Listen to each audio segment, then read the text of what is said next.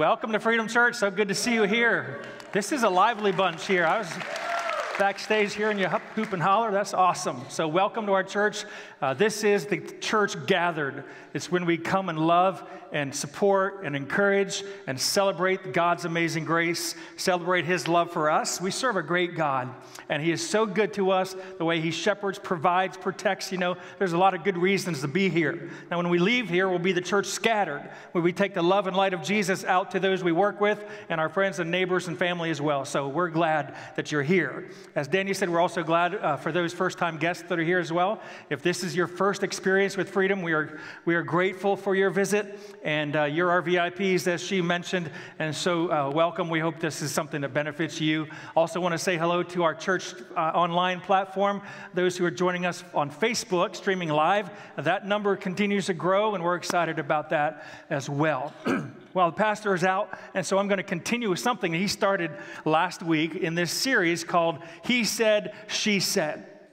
Last week, he kicked it off with a sermon that talked about words that help. Today we're going to talk about words that hurt. And so this four week series is actually one sermon with four different parts. And so I've got kind of point two, and then he'll continue that with words that heal uh, next week. Essentially, last week he communicated to us that there's a behavior associated with good communication. And as you develop in your uh, God, in godliness, that will naturally result and come out of you and promote good, good, solid, healthy uh, communication. And it has a lot to do uh, with your words. By the way, if you did not hear last week's message and you would like to, Pastor just created a brand new opportunity for us. Uh, he's now, uh, we now have a podcast with all of Pastor Terrell's uh, messages. And so if you go to Google or Apple and download the podcast app and type this in, say Freedom Church Online, that'll take you to the podcast. That'll be, uh, you know, those sermons will be a lot of, uh, quicker for you, quick and easy access. And so, uh, in case you're interested, the entire Insanity series that we just completed has already been uploaded to that site.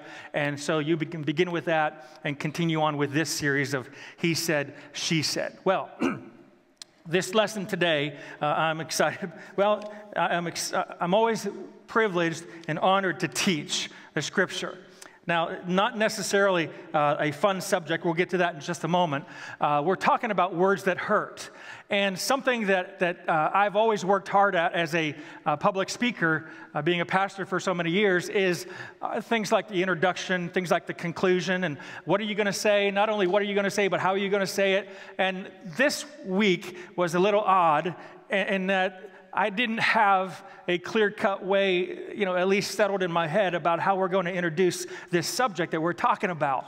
I had nothing. And I'm like, sure, it will come as the days gone by, as the, as the Sunday got closer. I still had nothing. And I'm starting to think, Lord, I mean, this is your church, this is your word. I mean, you got to give me something here. And so it never came.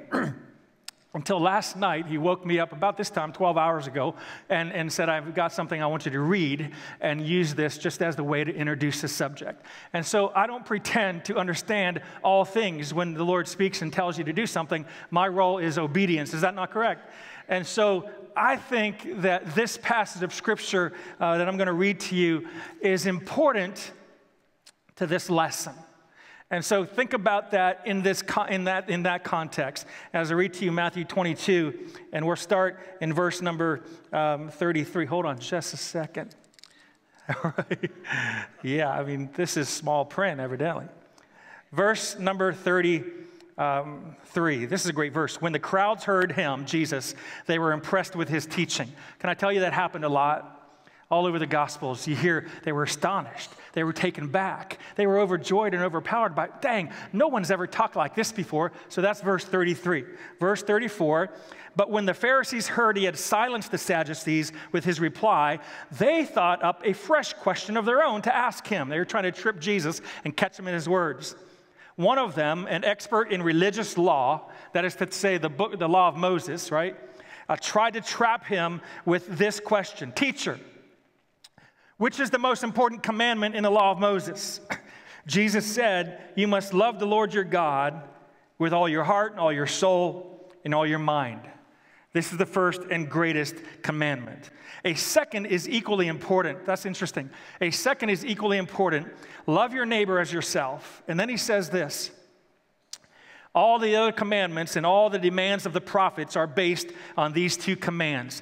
What's interesting is what he just said was every single thing that you read from Moses, which is the first five books of the Bible, the law of Moses, everything you read in the law of Moses, the Old Testament, everything you read in the prophets, which is the better part of the rest of the Old Testament, all of that hinges on what I just said to you. Love God, love people listen in the context of this lesson today, and I would say again, it's important to this lesson because at the end of the uh, lesson, I'm going to simply say the cure is to love God and to love people. So, here we go. I'm going to talk about words that hurt, and we're going to start with the same verse that Pastor T started with last week. And, and it's in your Bible, uh, Proverbs chapter 10, verse 32. Here's what the Bible says The lips of the godly speak helpful words that was last week. And, and so th- there's a second part of this verse. The second part says, But the mouth of the wicked speaks perverse things. That's this week. And so uh, we're going to start with a, with a humorous story, fun story, probably the last humorous thing I'll say this morning, based on the fact that we're teaching about gossip, all right? But old Betty was a church member and she was the church gossip. Nobody liked her. They were afraid of her, though. They didn't want to say anything to her, thinking that, well, she's going to use me in one of her stories, you know, and she's going to out me or whatever, create some gossip. Well, Betty made a mistake one day in the church lobby as church was gathering. There was a gentleman in, new to the church. His name was George. He walked in the church, and Betty was just a gossiping about George because, uh, well, she said it was on account of his truck being parked right in front of the town bar uh, last night, all night, and, and we only have one, one town bar. And so, sure, he's, I don't know him, but he's, I mean, he's got to be, he's an alcoholic and, and she's spewing all this stuff. George walks in on the conversation because he's walking into the church and walking into the uh, service there. He hears, he stares at her. He wasn't uh, a man of a lot of words. You know, he's, uh, after they got to know him, they found out he was a man of few words. And so it wasn't surprising that he didn't say anything. He just stared at her and then turned and walked and walked into the, uh, the worship service. Well, a little later on that day, uh, George got in his pickup and drove over to Betty's house parked his truck right in front of Betty's house, walked home. His truck spent the night at Betty's house. And I thought to myself, way to go, George. and hopefully, maybe, it would have cured, you know, her little uh, gossipy uh, spirit. We're talking about gossip. The Bible says the lips of the godly, yes, they're helpful. The Bible says the mouth of the wicked, yes, unfortunately, speaks perverse things. The topic of gossip. When it comes to gossip, all of us uh, can say that we know somebody who gossips. All of us can also say, if we are honest enough, we say, I've, I've gossiped. And I would tell you, I've gossiped. And I've been gossiped about. Or maybe, maybe you're a gossip. And, and, and maybe you have a, you know, a bad case of DOTM, is what I would call diarrhea of the mouth. And I apologize for that, but I just I kind of like, like saying that diarrhea of the mouth, you know. And some of you may have that disease. And so uh, this would be a good lesson, you know, heads up here. Uh, too much talk, too much gossip, whatever the case is. The gossip problem is widespread. And what's interesting to me is evidently this is not a new issue. If we go back 2,000 years and just stay within church history, those who have been redeemed and bought and transformed by the power of God's love. 2,000 years, we'll read books, and we're going to read a lot of verses today from the New Testament book of Luke, the book of James, and, and very clear and very powerful. They had, a, they had a gossipy type of a chattering tongue problem back in those days. If you were to go push, push further back 4,000 years to the time of Solomon, the wise man Solomon, who spoke many of those proverbs that we're going to talk to them about. You're going to find they had an issue with words back then, hurtful words. In fact, I would suggest to you that this dates back even to uh, creation. So I want to read to you a Bible verse we'll kick this off from. It's in Proverbs chapter 18, verse number 8. And here's what the Bible says Rumors are dainty morsels Rumors are dainty morsels, they sink down deep into one's heart. Now, I want to break the word dainty down a little bit. We, we pretty much know dainty. Uh, dainty is actually a positive word, it's a good word. It's a word that fascinates. It's a word that's somewhat intriguing. It's a word that's kind of, I think, positive. When we speak of a, many times you'd hear this talked about as a, you know, a, a little, a, a, woman who's so, she's so petite, so, she's so pretty, she's so dainty, and she's so dainty, you know, sweet little thing. And so that's what dainty is. I have some dainty little morsels in my hand today. These are chocolate kisses. Maybe you got one or two last week. I don't know. And that's not what I'm going to talk about. Um, but these are some chocolate kisses, and, and they're just dainty. They're so intriguing and fascinating and, and fun and tasty and good. I'm going to give you all one of these as you leave today. And, and just to remind you of a dainty little morsel that goes deep into your possibly wreaks havoc sometimes. You know, if I was to eat one of these today, I'd start coughing and the sermon would be very short. And Wes would say, Well, have two, Pastor. no, uh, thank you very much. Watch your mouth. All right. Um, let me show you someone else who's dainty. I have a two and a half month old grandbaby, and this is Natalie June. Yeah, thank you very much. A little louder, please.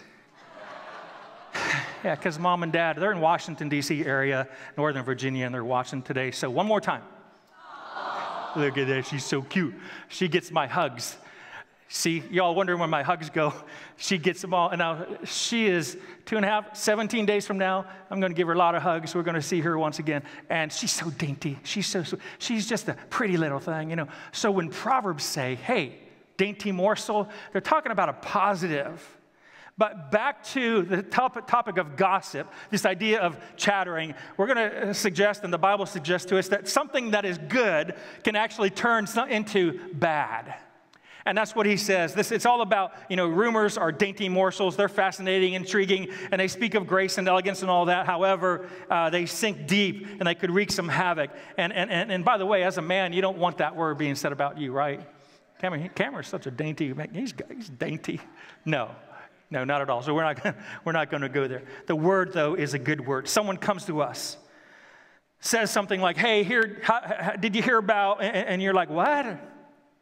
And then you're like, wait, what? And what happened? And, and they did what? And no, oh my gosh, does she know? Who else knows? Tell me more. It's been said that gossip can travel around the world and back before the truth can get out of bed and put his pants on. I think that's true. And so here's what I want to do this morning with this talk about gossip. I want to look at three questions. The first question is this Where does gossip come from? And what we're trying to do with that question is gather information. It's just a little bit of data collection, uh, and we're, uh, so that we can have some, some solid base to go from. So, where does gossip come from? The second question is this Who does gossip hurt? And still, we're in the data collection. We're, we're trying to collect information to get to the third question, which is really where we want to be. How do we control gossip? So let's start with this first question Where does gossip come from? Uh, and to answer this first question, I simply want to share some Bible verses that honestly are kind of stunning. They're extremely powerful. I would say even terrifyingly clear. So let's go back to the book of James, James chapter 3 and verse number 6. James is the writer of this book. He's the half brother of Jesus. This is post resurrection, first century church, and he is teaching believers in Christ, and they're growing into maturity in Christ. And this is something he warns and challenges them to understand. James chapter 3, verse 6 Among all the body parts, just think about what he's saying here. You know, we got head and shoulders, knees and toes, right? Knees and toes. We got body parts. Out of all of those body parts, listen to what he says the tongue is a flame of fire. And then he doesn't stop there. He says, it's a whole world of wickedness. And he keeps going, corrupting the whole body. And watch what he says it, the tongue, can set your whole life on fire for it is set on fire by hell itself. The first question is where does gossip come from? I wish James would be more clear, don't you? That was a joke. Okay, thank you. He's very clear that gossip, the, t- the problem of a tongue, originates literally by hell. It's set on fire, it's ignited by hell itself. Verse 8 he adds this the tongue is full of deadly poison. So the Bible says those dainty little morsels of rumors you're spreading and listening to come straight from hell. Another Bible verse, Luke chapter 6, verse 45, and, and Jesus is teaching. He says, The good man brings good things out of the good stored up in his heart. That's understandable, common sense. He says, The evil man brings evil things out of the evil stored up in his heart. Again, understandable. And then he says, For out of the overflow of the heart, his mouth speaks. Let me say that again. Out of the overflow of the heart, the mouth speaks. Jesus tells us that our words reveal what's in our hearts. So gossip comes from a heart, uh, comes straight from hell. Gossip also comes from a heart full of evil, insults, criticisms uh, full of evil. Criticisms comes from a heart full of evil. Uh, and, Psalm 109, verse 3, the Bible says, With words of hatred they surround me, they attack me without cause. This is David running from King Saul. And for no good, understandable reason, he's being attacked. And he says, They, they have hatred against me. And this is important to understand because it, it could be that you've been genuinely hurt. Maybe if someone has shown some disrespect to you or some offense and, and, and they had no conscience of it and, and they don't understand no sense of what they did or said of being wrong? Well, the natural thing for us on the receiving end of that is to allow that to translate and build up into hurt, even anger, and possibly rage inside of us. And when they build up, they, they, they will, there, there will be a day when they come out, and suddenly we begin to vent and, and, and pour out. And one way that we release this anger and, and release this bitterness and rage is through gossip. And we hurt people behind their backs by bad mouthing them. And we retaliate by shooting people in the back with verbal bullets. And so I'm suggesting gossip can be a result of hatred. You've heard this phrase, right? That the hurting people hurt people. Often uh, it's through dainty little morsels of gossip. So there's one more verse, and then we'll get to question two. Where does, where does gossip come from? Here's a verse in 1 Timothy chapter 5 and verse 13. Let me set this up real quick. Paul is teaching young Timothy. In fact, the topic of this particular passage has to do with young widows un, who are uh, young, but unfortunately, they've lost their husbands. And so a lot of them, well, they had a system and a process of getting on a list for aid, for, for provision. They needed help. You know, we come to help and minister to one another in times of need. What he is warning Timothy is interesting because he's suggesting here that, listen, by the way, if they're young enough, and they're strong enough, it, it, could be that they're on this list, but they don't need to be on this list. It could be that it, it, it would be uh, a, a, negative instead of a positive, because if they can work, well, let them work, you know, to support themselves. And here's what he says, uh, 1 Timothy 5.13, if they are on the list and they feel like everybody's going to do everything for me, then they will learn to be lazy, and that's not a good thing. And then he says, and will spread and will spend their time gossiping from house to house, meddling in other people's business, and talking about things they shouldn't. And so the thing about gossip is that it's an excessive interest, excessive interest in the affairs that belong to others. In other words, and in most cases, it's just none of our business. And Paul says, no, you don't want to be like that. That's busybody. You don't want to be a busybody, and they're intruding themselves where they don't belong. And so, what I'm saying and suggesting is gossip is a product of an idle life, idleness. See, the thing about gossip is that it's excessive. It's excessive. So we know where gossip comes from. And the trouble with all of that is this gossip always uh, uh causes trouble. Gossip makes the truth unclear. Gossip makes the truth vague and drives us from God, ruins relationships, ruins friendships, divides churches. And so let's go on and talk about the second uh, section here, the second point, the second question. Who does gossip hurt? We know where gossip originates, and it's not good. None of it's good. The next question who does it really hurt? Well, number one, gossip hurts the person it's spoken about. It's kind of obvious. Gossip hurts the person it's spoken about. Proverbs 16, verse 28 gossip separates the best of friends. And that's unfortunate. You know, it's a ma- in a matter of seconds, gossip can ruin a friendship that took years to build. And maybe you've lost a friendship because of gossip. Or maybe you've lost a job promotion or even a career because of gossip. Whatever the case may be, gossip is no laughing matter. It can sting. It can sting because those rumors sink deep into our hearts. And the problem with gossip is that it's hard to see in the mirror when we're the ones that's doing it, that's speaking gossip. A lot of times it's disguised. We disguise it as, as a prayer request, you know, and we would say something like, well, it's true, and therefore it's not gossip. But listen, I, I would suggest to you that's not good thinking. In fact, I, let me remind you of something Pastor T said last week. He made this statement Everything that is said must be true, but not everything that is true must be said. Everything that is uh, said must be true, but everything that is true uh, doesn't have to be said. So, what if he is a jerk? I mean, uh, does, doesn't give you the right to say it. What if he doesn't know what he's doing? Doesn't give us the right to say it. Proverbs 18, verse 21, listen carefully life and death are in the power of the tongue. Life and death are in the power of the tongue. We gossip about friends, maybe their substance addiction. You know, it's them peels that got her. She's just done throwing her life away, swallowing those peels. Or he should have known better. You know, he should have never taken that first drink. She caused it. I heard she drove him towards it. You know, death and life are in the power of the tongue. Gossip about a relationship. Have you heard who, you've heard who she's dating, and, and he's been married four times. I don't even know what she sees in him. What's she thinking? And what about him? I mean, he don't love her. He's only in it for her money. That's what I heard. Death and life.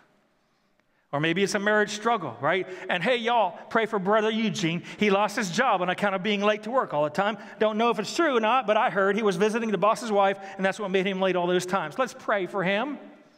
Death and life are in the power of the tongue.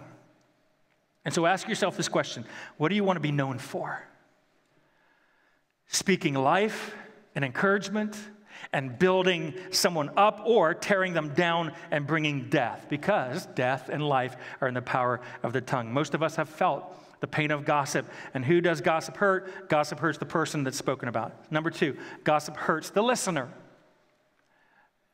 It could be that you're listening to gossip. Here's what the scripture says the wisdom of Solomon, Proverbs 17, verse 4 wrongdoers eagerly listen to gossip. It goes back to those dainty morsels because this is fascinating. Hey, I'm interested. And if you listen to gossip, you're wrong. And don't think for a moment that once they stop talking to you, that they're not going to talk about you, right? So, what you permit, you promote. And I'm saying if you allow someone to run down another person, you're promoting what they're saying by your inaction. The Bible is clear. It's wrong to gossip. And therefore, we know that gossip not only hurts the person that is spoken about, uh, but, but, it hurts the person that's listening to it as well. Here's the third thing third per, uh, person that it hurts gossip hurts the speaker, the one who's actually gossiping. Proverbs 25, verse 9 and 10. When arguing with your neighbor, do not or don't uh, betray another person's secret. Others may accuse you of gossip, and you will never regain your good reputation. Or you can spend a lifetime building a good reputation, but if you're exposed as speaking or spreading gossip, you'll never regain your good reputation. Now, think about it. Think about this. Nobody ever listens to a person spreading gossip and thinks or says, Man, I'd love to be like him. Man, I'd love to be like you one day, you know, tearing people down with your words and destroying them. I'd love to be like you. Nobody says that. Nobody thinks that. What we think is, well, when I hear someone spreading gossip, I think you have a constipation of the mind, right? Going back to that disease, diarrhea of the mouth. That's what I think. I also think, well, he's, what's he talking about when we're not together? It could possibly, probably be me he's talking about, you know? I'd better be careful what I say right now because they might repeat it who knows who, right? Listen, when you gossip and talk badly about people who are not around, it says more about you than it says about them. You don't need to invent things with your mind and then share them with your big mouth. Gossip hurts the person it's spoken about, gossip hurts the listener, and gossip also hurts the person who speaks it. That means that gossip hurts everyone. So, the goal should then be to stop gossiping. The goal should be that we not gossip. The question becomes how do we do that? How do we not gossip? How do we control gossip? How do we stop? Well, there's two things I want to share with you. Very, very simple uh, and, and, and, and, and very, well, Some would say hard to do, but I would say we must do these things. Two things. Number one, guard your ears. How do I control gossip? Guard your ears. You can stop gossip with one question. Here's the question Why are you telling me this anyway? I mean, you're talking to the person who's gossiping to you. Why, is there a reason? Uh, why, are, why is this necessary? Why? And that question will stop the gossiper. It'll cause them to take inventory. Well, maybe, maybe this is something maybe that I shouldn't be doing, you know, right, right now. In fact, Jesus suggested you do something else. In Matthew chapter 15 or 18, verse 15, if another believer sins against you, go privately and point out the offense. If the other person listens and confesses it, you have won that person back. And so he says, when offended, possibly when there's a breakdown in communication or relationship, don't go public and gossip and tear down and speak death. Instead, go to that person, talk it out, and get it right. So when you ask this question, have you had a chance to talk to so and so? It actually helps them, you know, to reconfigure and possibly see some blind spots and say, no, this is not the person I want to be. I want to be as God desires. I want to please Him with the words that I speak. And so thank you, you know, whatever the conversation may be, for speaking, you know, for pointing that out and helping me along that way, because that's not the way I want to go. Guard your ears. Guard your ears. Proverbs 20, verse 19 a gossip goes around telling secrets. Don't hang out with chatterers. Don't hang out with people who wag their tongues, right? So the first thing we're going to do is guard our ears. The second thing we're going to do is, is close your mouth. Here's a great verse for you uh, Proverbs chapter 21, verse 23. Watch your tongue and keep your mouth shut, and you will stay out of trouble. Sounds like something mom used to tell us, right? She said, or he says here, and she said, Watch your tongue, keep your mouth shut, and you'll stay out of trouble.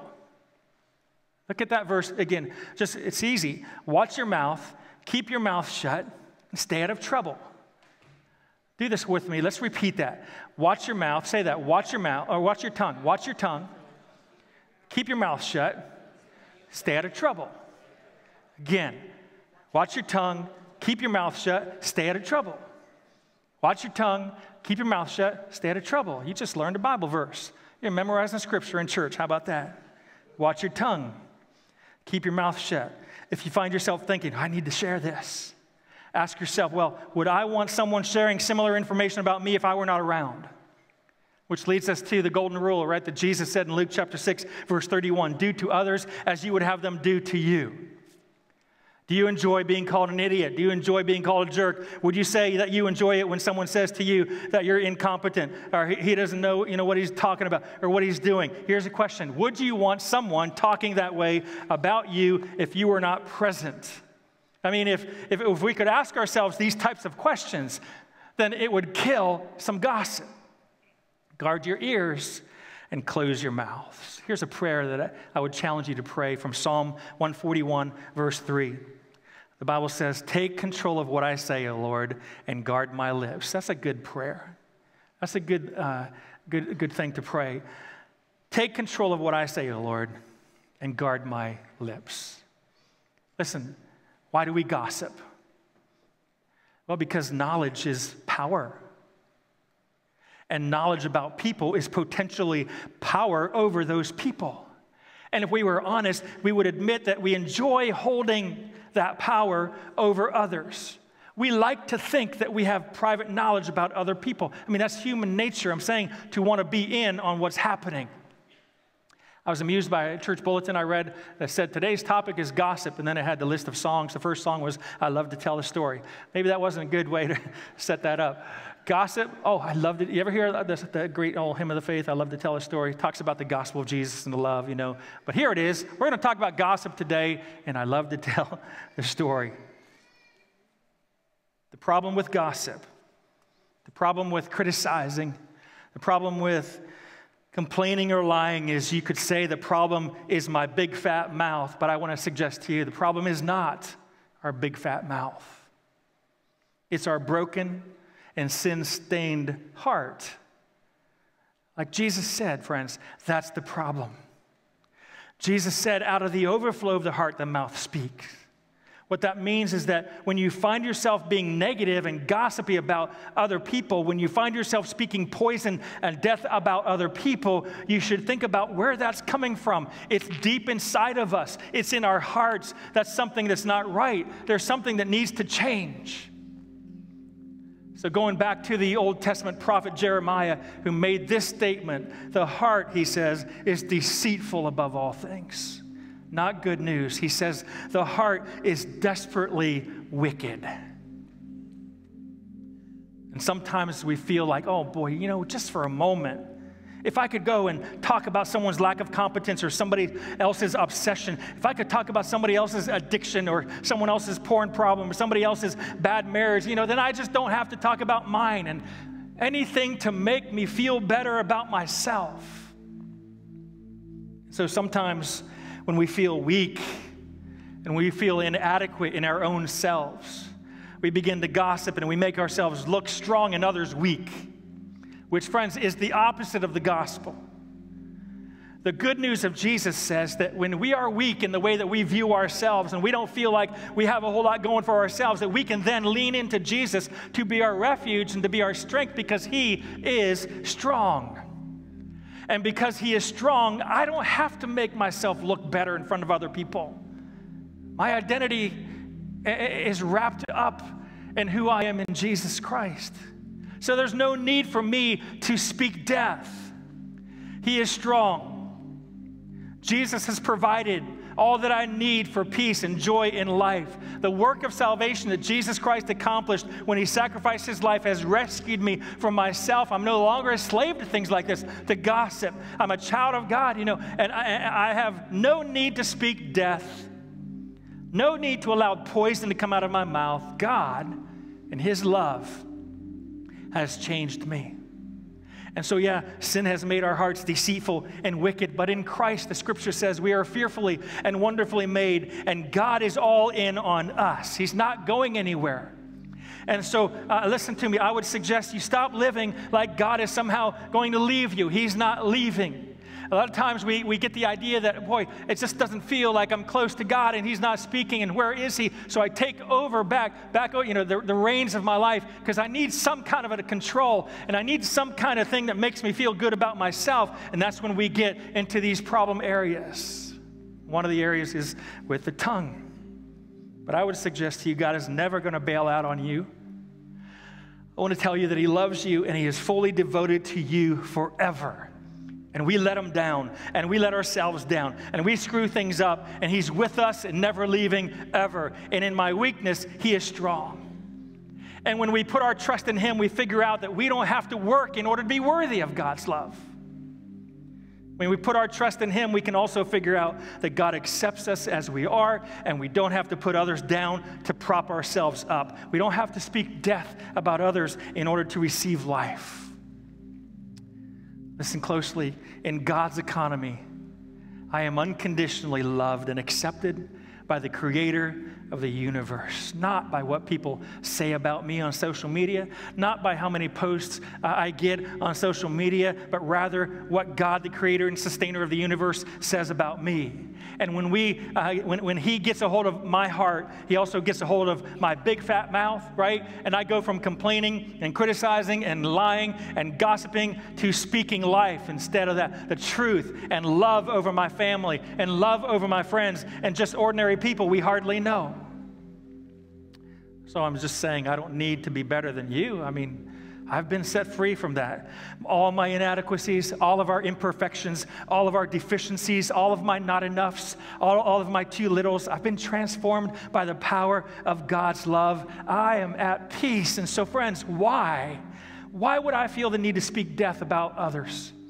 Why would I need to speak death over others? I don't feel that way, not since Jesus Christ has changed my life, and He can change your life too. So let's stand together for prayer. And as you stand, do me this if you would bow your heads and close your eyes.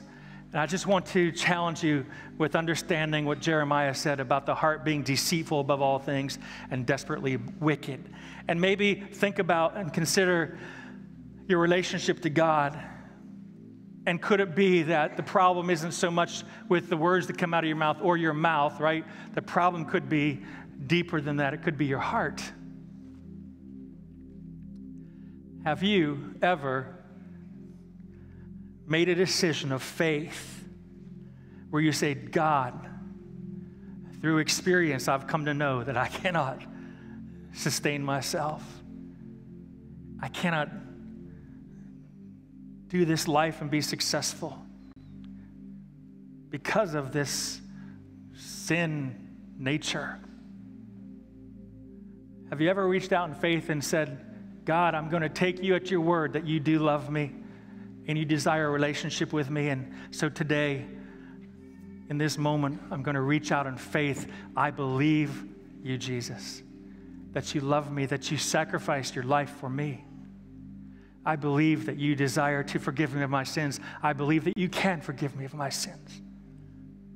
Friends, if there's never been a time in your life when you've made that choice deep within the recesses of your mind, heart and mind, I just want to encourage you to do it even in this moment, right now, right here.